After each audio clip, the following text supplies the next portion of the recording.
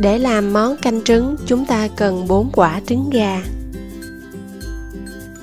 Dùng đũa đánh cho tan lòng đỏ.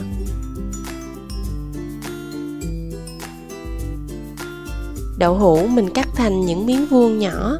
Khi mua đậu hũ, các bạn nên chọn những miếng trắng mịn, mềm là đậu nguyên chất, còn những miếng đậu có màu hơi vàng và cứng thì chứa nhiều thạch cao sẽ không tốt cho sức khỏe. Cà chua mình cắt muối cau,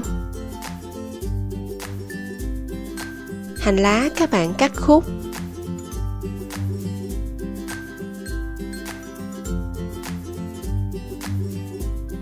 Phần đầu hành mình sẽ đập dập sau đó cắt nhỏ.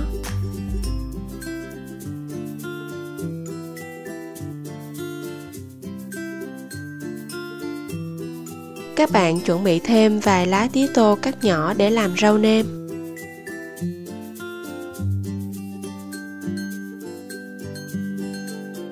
Bắt nồi lên bếp, chúng ta sẽ phi thơm đầu hành với dầu ăn, sau đó cho cà vào xào qua để nồi canh có màu đỏ đẹp.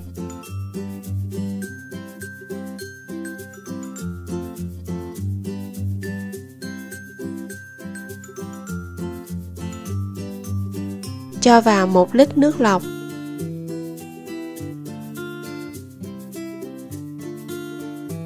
Mình sẽ nêm hai muỗng canh nước mắm một muỗng cà phê hạt nêm và 1 phần 2 muỗng canh đường.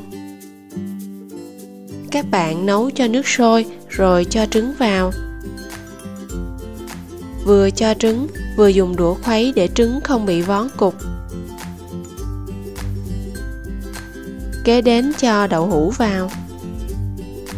Chúng ta tiếp tục nấu cho đến khi nồi canh sôi trở lại.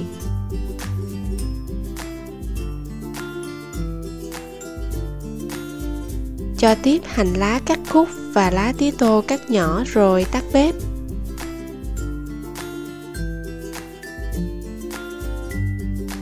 món canh trứng rất dễ làm giàu dinh dưỡng lại có tác dụng giải cảm nhờ vị của hành lá và tía tô. Chúc các bạn thực hiện thành công.